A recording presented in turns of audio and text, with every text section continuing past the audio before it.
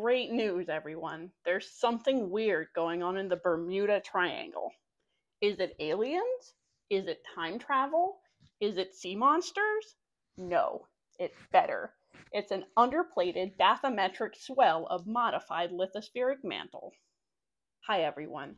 Astrobiologist and cosmic mystery enjoyer here.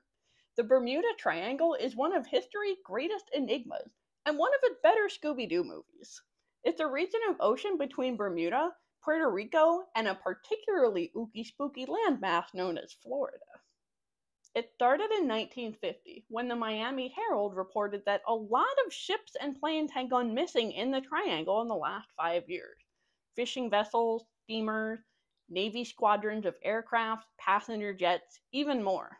Now, it's not actually that weird because the Bermuda Triangle is home to the Gulf Stream, undersea methane eruption, and frequent tropical storms, all of which contribute to a very dangerous area that can quickly disable a vessel and get rid of it even faster.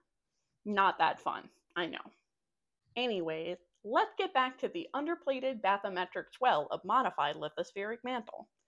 Underplated just means one thing got stuck underneath another thing. Bathymetric means you measured something that was underwater. The lithosphere is the crust of the Earth, and the mantle is the hot semi solid layer underneath that. So, what does that actually mean? What's actually strange about the triangle is that the lithosphere is swelled up underneath of it. Like there should be a volcano there, but there isn't. It's kind of like the Earth meant to put a Hawaii in the middle of the Bermuda Triangle, but forgot. What's actually happening is that underneath Bermuda is a large, thick, low density region of the crust that pushes up on Bermuda kind of like a balloon pushed underwater. Also, it's not really the Bermuda Triangle so much as it is just Bermuda.